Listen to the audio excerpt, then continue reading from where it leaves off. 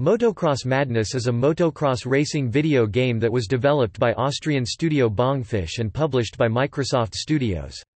It was released on April 10, 2013 on Xbox Live Arcade. It is a sequel to two PC games, 1998's Motocross Madness and 2000's Motocross Madness 2, which were developed by Rainbow Studios, who have since moved on to making the MX vs. ATV series.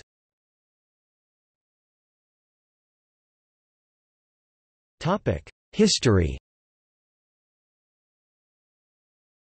In June 2012, Microsoft announced that a new Motocross Madness game entitled Avatar Motocross Madness would be released for Xbox Live Arcade in the future.